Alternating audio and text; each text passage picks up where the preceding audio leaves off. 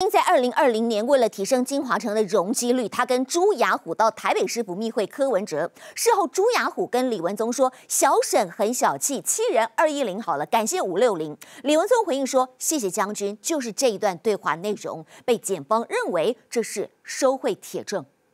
左边，左边，左边。戴着口罩、帽子，身穿黄色上衣，走进台北地检署。前台北市殡仪局长朱雅虎因为涉嫌贪污罪遭到羁押禁见。要讲一下金华城的事情？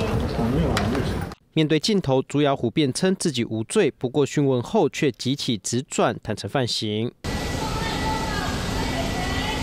原来，检方发现他和李文忠的手机对话记录。二零二零年四月，朱雅虎提到小沈很小气，七人两百一十好了，感谢五六零。李文忠见状，随即回复谢谢将军，被检察官认定是收贿铁证。根据了解，二零二零年朱雅虎、沈庆金到台北市政府密会完柯文哲后，就有七名微金集团员工汇入了两百一十万元到民众党的政治现金账户，随即金华城的容积率就上升到百分之五百六十。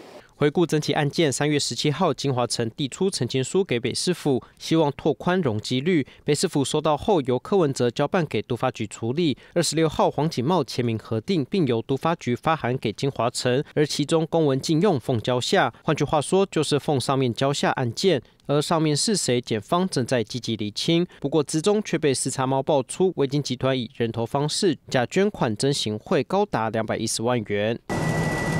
只不过在检联侦办期间，沈庆金身体频频出状况。每当亲友送会客菜给沈庆金后，他就会上吐下泻，被狱警怀疑下药。于是询问沈庆金愿不愿意分会客菜给狱友，不只能打好关系，还能借此观察其他人的身体状况。要一天下来会累吗身家破亿的沈庆金对于金钱锱铢必较，先前才有贴身司机因为拿不到说好的酬劳传简讯恐吓他。随着检联侦办金华城案，也一层一层拨开沈庆金不为人知的一面。记者综合报道。